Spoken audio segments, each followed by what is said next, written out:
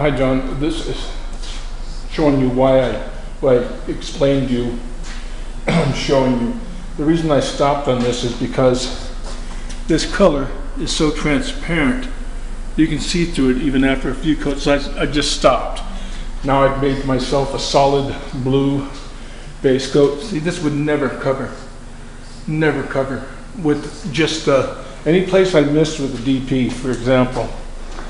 Um, and I didn't think I missed anything until I sprayed this first coat of base on. Of course, you know this isn't supposed to be shiny yet. We have no clear on here. This is just the base coats. But um, up here you can see maybe with this camera how it's still light.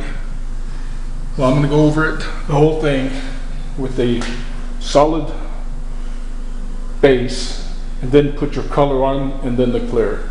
So I'll see you after this is all, all finished with clear coats. Then tomorrow, Monday, I'm going to attempt to finish the body. I think I'll get her done.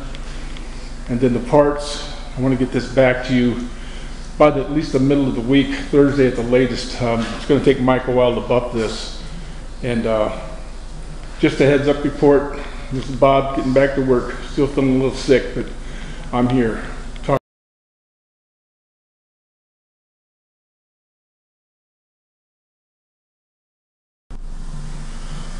Hi John, I uh, just finished the clear coating, base coating and clear coating of these parts. They look great. Of course, everything's gonna be wet sanded flat and buffed to a high gloss. And this color is beautiful, really looks good in the sun.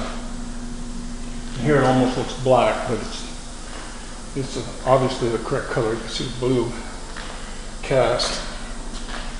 Um, there won't be any orange peel ink or anything when we're done. That's what we have our 1500 grit and 2000 grit sandpaper for, is to get rid of any dust and thick paint. But um, all things considered, I'm happy with it. First stage, pretty straight, a little wavy, very subtle, won't even show once it's all buffed and together. Anyway, I'll um, be here working tomorrow, this is Sunday. Bob, out. Happy Labor Day Monday, John. Mike is uh, wet setting the fenders that I painted last night.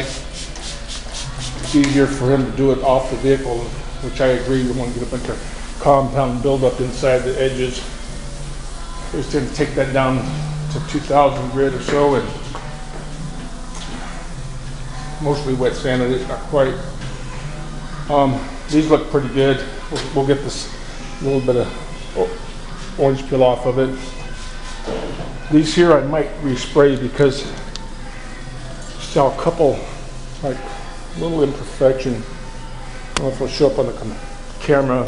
I know it's not supposed to be absolutely showroom perfect, but some ways will show blah blah blah like we originally agreed. But it might be easier just to reshoot these and uh, then have more clear on it than might, because this is a real hard area to buff and not burn through. So we might just shoot those over. What I'm gonna do is bring the hood in here and the deck lid in here tomorrow or Wednesday. Bring the car in here today, paint the car, get it completely done. Mike got the uh, dash all finished. The only thing we have to do is a flat black, and that's not going to take long. This looks really good. We've got the other pieces painted. Um, so this will be pushed into the booth today. Wrap mask off the places we need to. Looks like we need to paint these bolts.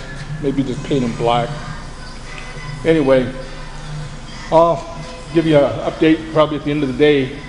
All things considered, I want to get this body painted today and the rest of it, the hood, and the other side of that deck lid painted tomorrow.